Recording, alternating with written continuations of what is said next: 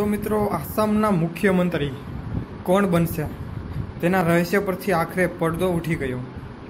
ભારતીય જનતા પક્ષના સર્વાનંદ સોનોવાલને સીએમના પદેથી હટાવી દેવામાં આવ્યા છે અને તેમના સ્થાને હિમતા બિસ્વા શર્માને સીએમ બનાવવામાં આવ્યા છે.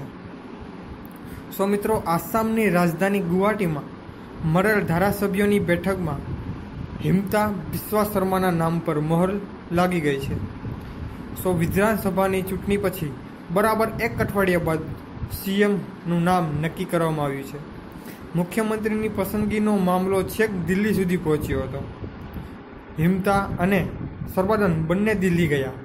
ભાજપના અધ્યક્ષ જેપી નડ્ડા અને ગૃહપ્રધાન અમિત શાહ સાથે મળીને સમાધાન શોધ્યું અને સર્વાનંદ સોનોવાલને મનાવવામાં આવ્યા. સૌથી મોટો સવાલ એ છે કે સર્વાનંદ સોનોવાલને ગત ટર્મમાં સારી કામગીરી કરી હતી, છતાં તેમને કેમ બદલાવવામાં આવ્યું? આસામમાં ભાજપને બીજી વખત સત્તા મળી. એના માટે તેમની કામગીરી પણ કારણભૂત છે મિત્રો. સાથોસાથ એ પણ હકીકત છે કે હિંમત બિસ્વા શર્માએ આસામમાં એગ્રેસિવ ચૂંટણીનો પ્રચાર કર્યો.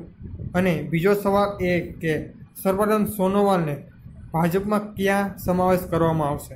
શું તેમને કેન્દ્રમાં પ્રધાન બનાવવામાં આવશે કે પછી બીજી કોઈ જવાબદારી સોંપવામાં આવશે?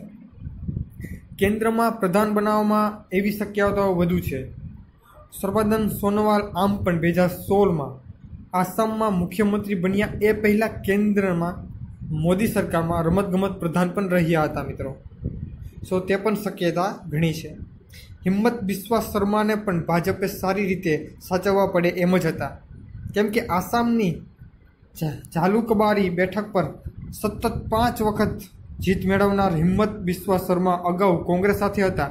પણ કોંગ્રેસના નેતા અને આસામના ભૂતપૂર્વ મુખ્યમંત્રી સર્વ તરુણ ગોગોઈ સાથે તેઓનો મતભેદ થયો અને હિંમત બિસ્વાએ બીજા પંદરમાં કોંગ્રેસનો સાથ છેડો ફાટી ગયો.